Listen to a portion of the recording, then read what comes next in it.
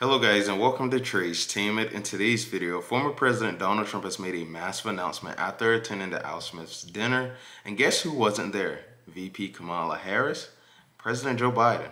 But check out what former President Donald Trump had to say. Hi, Mr. President. How are you? Good to see you. Come get Hey, my Mr. stuff. President, sit you right here in the sit middle. right over here. I'm the official audio guy for today. you, you have, Mr. President, welcome back. You have so many jammers with you, we can't even use. I know, we have to use these hard lines. Let's put it right here, like that. Okay. Very good. Good job. Wow. All right, Glad you're and we'll all sit down. Three, two, one. There we go.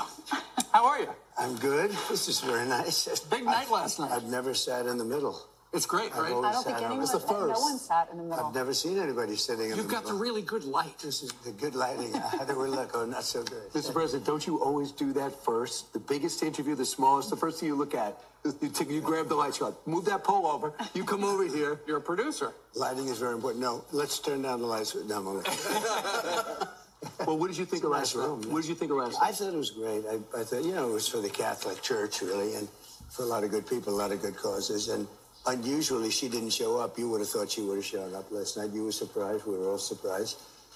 But uh, they told me it's only teleprompter for the comedian. I said, give me the comedian. No, no. I didn't get, so I had to do it sort of like, and I liked it better. I think I liked it better.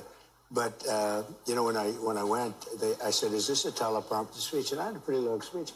And they said, "So we don't use teleprompter." Then I get up there and see the comedian, using it it. too. and he was good too, by the way. He Jim Gaffigan's Gaffigan's I thought he was good. Yeah. You know, So as you guys can see, former President Donald Trump said the dinner was great and everyone had a good time. And he also gave a long speech and just think about what he was talking about. You know, if you haven't seen the speech, please go on like Fox News or you guys can go online and you can find it. But during that speech, he was basically explaining how everything was going on through his entire campaign and basically through the beginning of this year and the things that were happening to him. He, Letitia James was also there. I couldn't believe it. She was literally the row behind him. I didn't even expect that to happen at all. But she was there and he said something like, It's great to be in New York when I'm not subpoenaed. That was crazy. I was like, did he really just say that with her behind him? But it was a great time. Everyone had a great time. And just think about what's been going on this past year with him. You know, the assassination attempts, all these court cases and everything. He has not gave up. He's not gave up.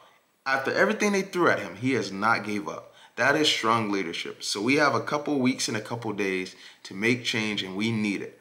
Let me know what you guys think about today's video in the comment section. That'll be a wrap for today's video and I'll see you guys on the next one. Take care.